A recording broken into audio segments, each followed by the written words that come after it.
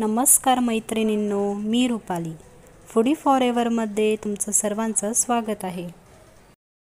आज आपण बनवणार आहोत कांद्याच्या पातीपासूनचे जे कांदे असतात त्यापासून चटणी बनवणार आहोत. खूप सोपी आणि साधी रेसिपी आहे. तुम्ही घरी नक्की करून बघा. आणि ही चवीला खूप छान लागते खूप मस्तही लागते. चला तर मग आपण आता तयार करूया. हे बा ही कांद्याची पात आहे याचे जे पाठीमागचे हे कांदे आहे हे कापून घ्यायचे आहे तुम्ही बघू शकता.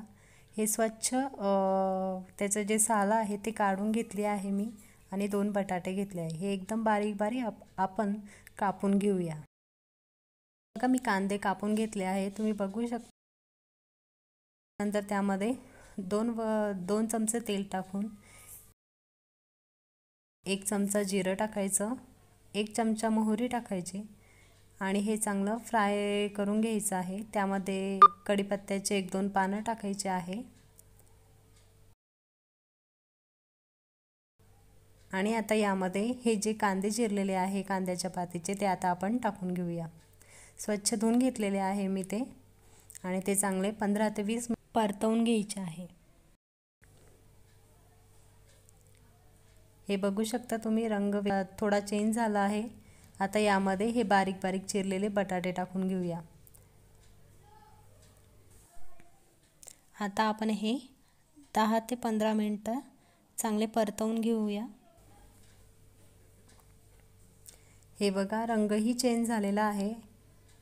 आता यामध्ये दोन ते तीन हिरव्या मिरच्या बारीक कापून घ्यायच्या आहे त्या टाकले टाकून घ्यायच्या आहे.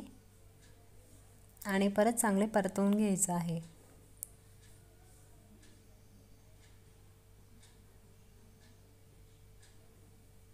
हे बघू शकता तुम्ही. कांदा पण थोडा ट्रान्सफर झाला आहे आणि बटाटेही यामध्ये आता अर्धा टीस्पून हळद टाकायची आहे. आणि परत एकदा मिक्स करून घेऊया.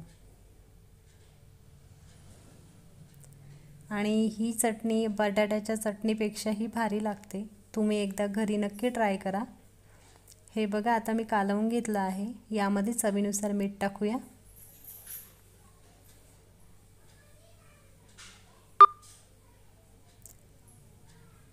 हे बघू शकता तुम्ही.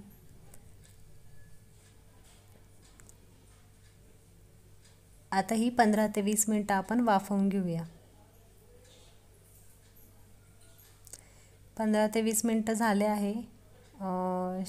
आणि खूप छानही शिजली आहे. तुम्ही बघू शकता तेलही सुटलं आहे.